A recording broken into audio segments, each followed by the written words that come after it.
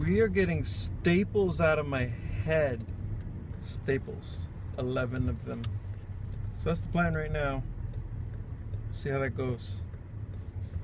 Should be good. In the waiting room.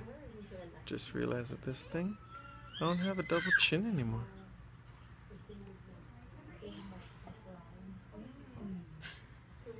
Right side. Winning. Is it going? It is going.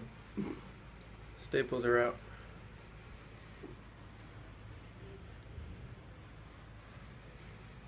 I don't know if you see that, but they're out. Didn't hurt. And now I get a milkshake.